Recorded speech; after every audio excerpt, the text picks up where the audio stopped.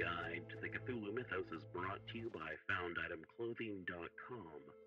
Check out their Cthulhu slippers and cool cult film t shirts. Edited and produced by DB Spitzer. Featuring Sara Fee and DB Spitzer. Music by Kevin McLeod. PGTTCM is part of the Dark Myths Network.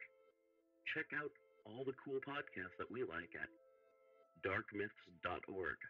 Subscribe where you subscribe, like where you like, rate where you rate. We recommend podbean.com and Apple Podcasts as well. Find PGTTCM on social media at PGTTCM and on YouTube at People's Guide to the Cthulhu Mythos.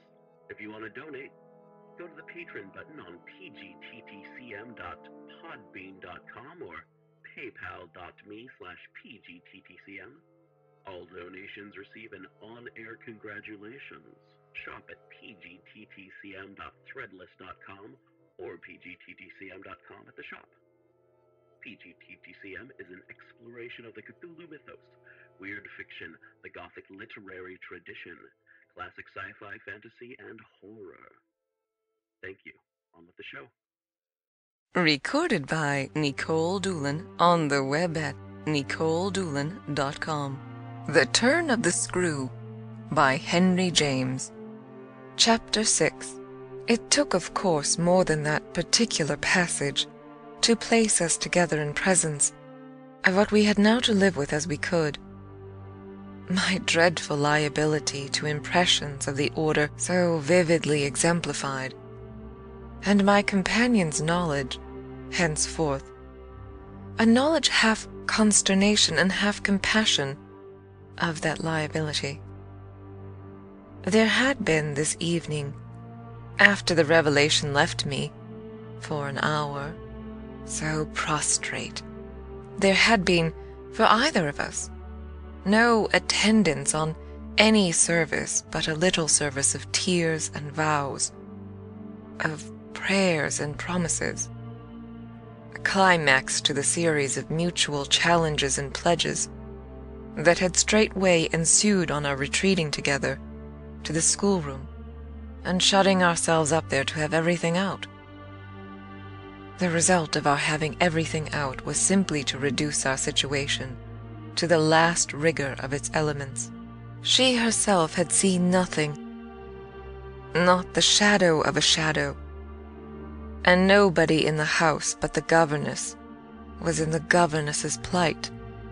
Yet she accepted, without directly impugning my sanity, the truth as I gave it to her, and ended by showing me, on this ground, an awe-stricken tenderness an expression of the sense of my more than questionable privilege, of which the very breath has remained with me as that of the sweetest of human charities.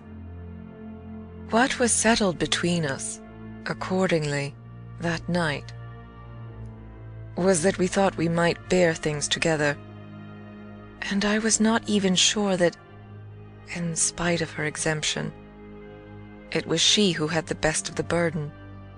I knew at this hour, I think, as well as I knew later, what I was capable of meeting to shelter my pupils. But it took me some time to be wholly sure of what my honest ally was prepared for, to keep terms with so compromising a contract. I was queer company enough, quite as queer as the company I received. But as I trace over what we went through, I see how much common ground we must have found in the one idea that, by good fortune, could steady us. It was the idea, the second movement, that led me straight out, as I may say, of the inner chamber of my dread. I could take the air in the court, at least, and there Mrs. Grose could join me. Perfectly can I recall now the particular way strength came to me before we separated for the night.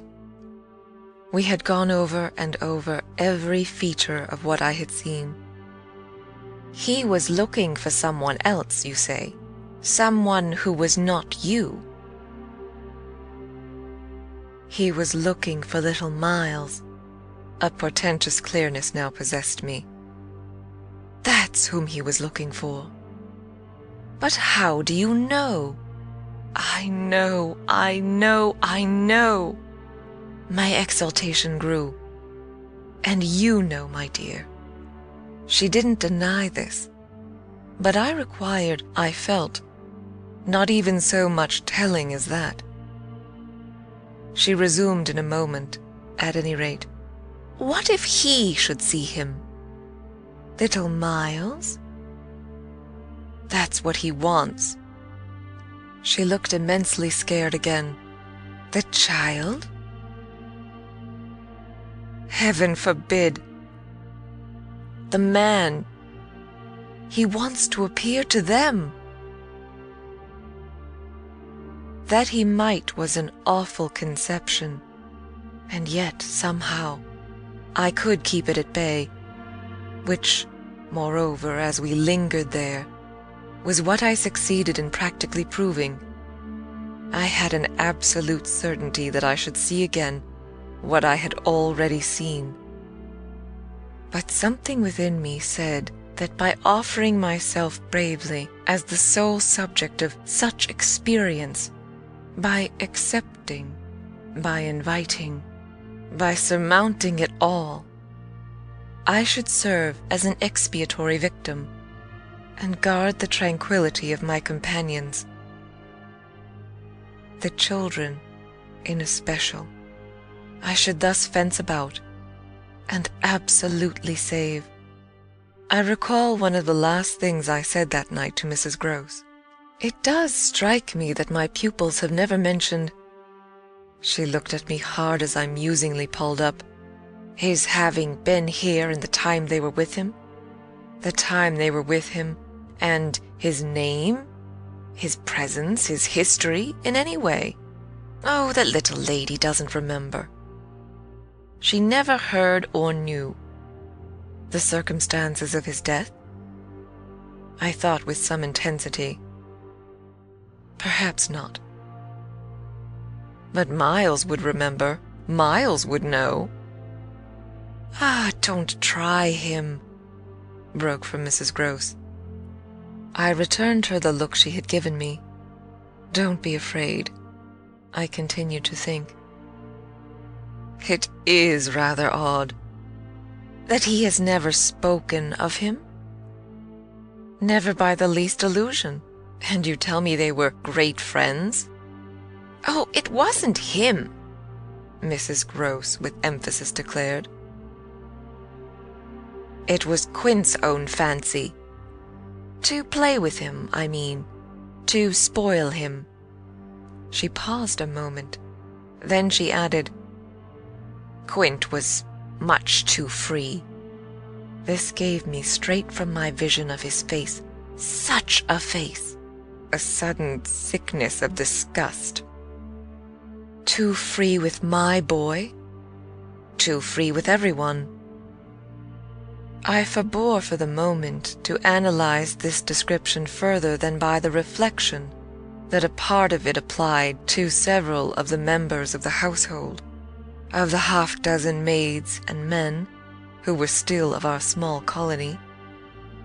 But there was everything for our apprehension in the lucky fact that no discomfortable legend, no perturbation of scullions had ever, within anyone's memory, attached to the kind old place.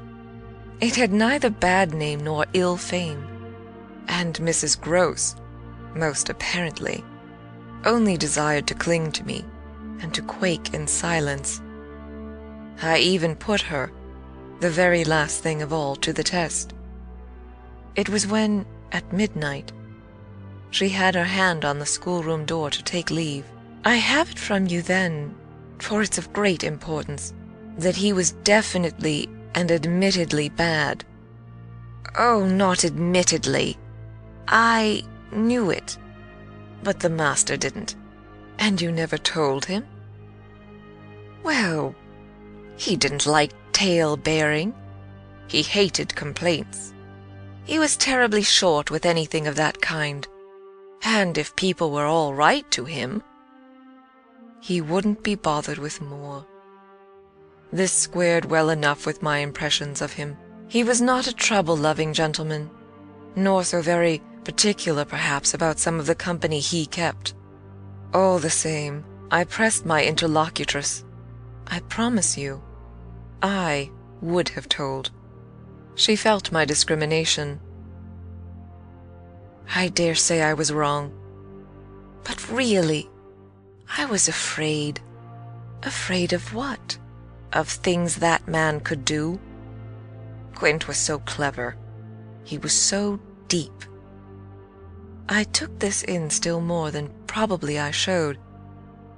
You weren't afraid of anything else? Not of his effect? His effect? She repeated with a face of anguish and waiting while I faltered. On innocent little precious lives. They were in your charge. No, they were not in mine, she roundly and distressfully returned. The master believed in him and placed him here because he was supposed not to be well and the country air so good for him. So he had everything to say. Yes, she let me have it. Even about them. Them? That creature? I had to smother a kind of howl. And you could bear it? No, I couldn't. And I can't now. And the poor woman burst into tears. A rigid control from the next day was, as I have said, to follow them. Yet how often and how passionately, for a week, we came back together to the subject.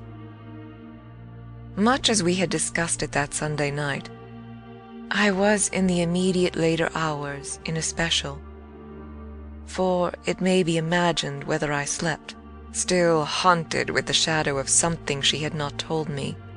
I myself had kept back nothing, but there was a word Mrs. Grose had kept back. I was sure, moreover, by morning, that this was not from a failure of frankness, but because on every side there were fears. It seems to me, indeed, in retrospect, that by the time the morrow sun was high, I had restlessly read into the fact before us almost all the meaning they were to receive from subsequent and more cruel occurrences. What they gave me above all was just the sinister figure of the living man, the dead one, would keep a while, and of the months he had continuously passed at Bly, which, added up, made a formidable stretch. The limit of this evil time had arrived only when on the dawn of a winter's morning Peter Quint was found by a laborer going to early work, stone dead on the road from the village, a catastrophe explained, superficially at least, by a visible wound to his head, such a wound as might have been produced and as, on the final evidence, had been by a fatal slip in the dark and after leaving the public house, on the steepish icy slope, a wrong path altogether, at the bottom of which he lay. The icy slope, the turn mistaken at night and in liquor, accounted for much. Practically, in the end, and after the inquest, and boundless chatter for everything. But there had been matters in his life, strange passages and perils, secret disorders, vices more than suspected, that would have accounted for a good deal more. I scarce know how to put my story into words that shall be a credible picture of my state of mind but I was in these days literally able to find a joy in the extraordinary flight of heroism the occasion demanded of me. I now saw that I had been asked for service admirable and difficult. And there would be a greatness in letting it be seen, oh, in the right quarter, that I could succeed where many another girl might have failed. It was an immense help to me. I confess I rather applaud myself as I look back, that I saw my service so strongly and so simply.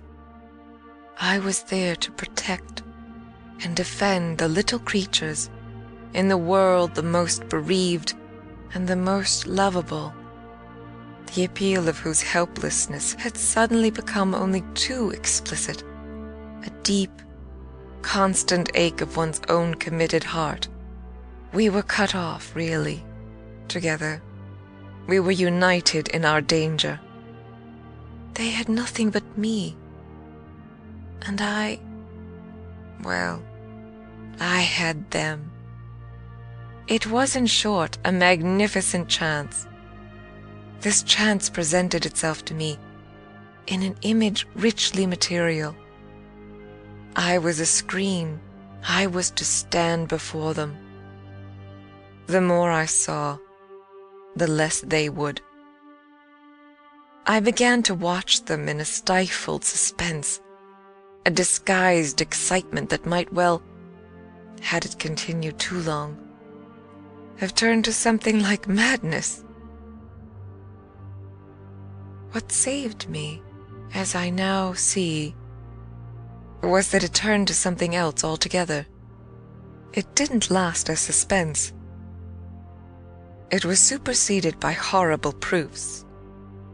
Proofs, I say, yes, from the moment I really took hold. This moment dated from an afternoon hour that I had happened to spend in the grounds, with the younger of my pupils alone. We had left Miles indoors, on the red cushion of a deep window seat. He had wished to finish a book, and I had been glad to encourage a purpose so laudable in a young man, whose only defect was an occasional excess of the restless.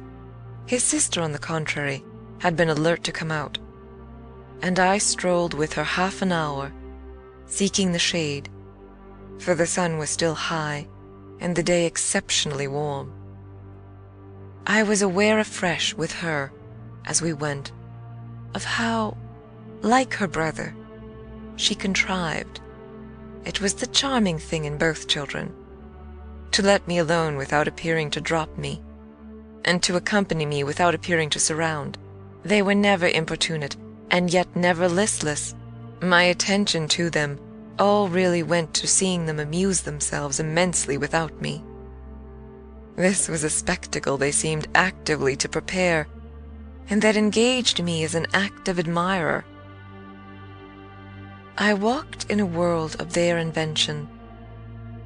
They had no occasion whatever to draw upon mine so that my time was taken only with being for them some remarkable person or thing that the game of the moment required, and that was merely, thanks to my superior, my exalted stamp, a happy and highly distinguished sinecure. I forget what I was on the present occasion. I only remember that I was something very important and very quiet and that Flora was playing very hard. We were on the edge of the lake, and as we had lately begun geography, the lake was the Sea of Azov. Suddenly, in these circumstances, I became aware that on the other side of the Sea of Azov, we had an interested spectator. The way this knowledge gathered in me was the strangest thing in the world. The strangest that is, except the very much stranger, in which it quickly merged itself. I had sat down with a piece of work, for I was something or other that could sit, on the old stone bench which overlooked the pond. And in this position I began to take in with certitude, and yet without direct vision, the presence, at a distance, of a third person. The old trees, the thick shrubbery, made a great and pleasant shade, but it was all suffused with the brightness of the hot, still hour. There was no ambiguity in anything, none whatever, at least, in the conviction I from one moment to another found myself forming as to what I should see straight before me, and across the lake as a consequence of raising my eyes. They were attached at this juncture to the stitching in which I was engaged, and I can feel once more the spasm of my effort not to move them till I should so have steadied myself as to be able to make up my mind what to do. There was an alien object in view, a figure whose right of presence I instantly, passionately questioned. I recollect counting over perfectly the possibilities, reminding myself that nothing was more natural, for instance, than the appearance of one of the men about the place, or even of a messenger, a postman or a tradesman's boy from the village. That reminder had as little effect on my practical certitude as I was conscious, still even without looking of its having upon the character and attitude of our visitor. Nothing was more natural than that these things should be the other things that they absolutely were not. Of the positive identity of the apparition, I would assure myself as soon as the small clock of my courage should have ticked out the right second. Meanwhile, with an effort that was already sharp enough, I transferred my eyes straight to little Flora, who, at the moment, was about ten yards away. My heart had stood still for an instant, with the wonder and terror of the question whether she too would see. And I held my breath while I waited for what a cry from her, what some sudden innocent sign either of interest or of alarm would tell me I waited, but nothing came. Then, in the first place, and there is something more dire in this, I feel than in anything I have to relate. I was determined by a sense that, within a minute, all sounds from her had previously dropped, and in the second, by the circumstance that also within the minute, she had, in her play, turned her back to the water. This was her attitude when I at last looked at her, looked with the confirmed conviction that we were still together, under direct personal notice.